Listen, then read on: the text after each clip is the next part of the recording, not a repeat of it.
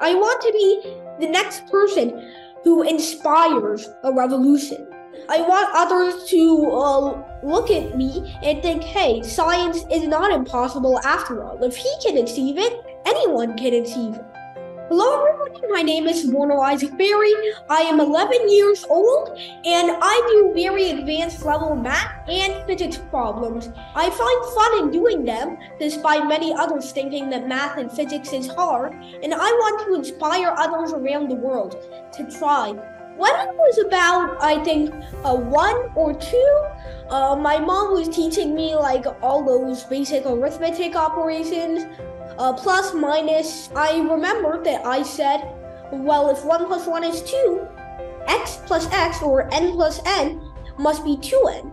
Uh, so I kept abstracting uh, those concepts over and over. That's when my family realized I could pick things up and abstract them a little more quickly than others. And what is this one? All right. What is this one? Hey, give me five.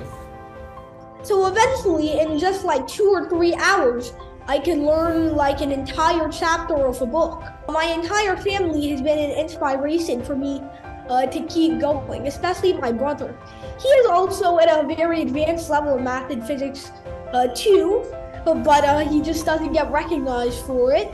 I'm sorry, I'm tearing up a little right now.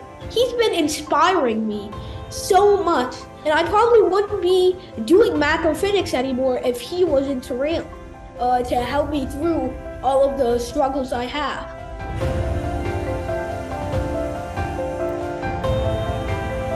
My education is some tireless work, but I know that the results will pay off, which is why I keep doing it. Give yourself a taste of uh, every subject because you'll never know what you love until you try it.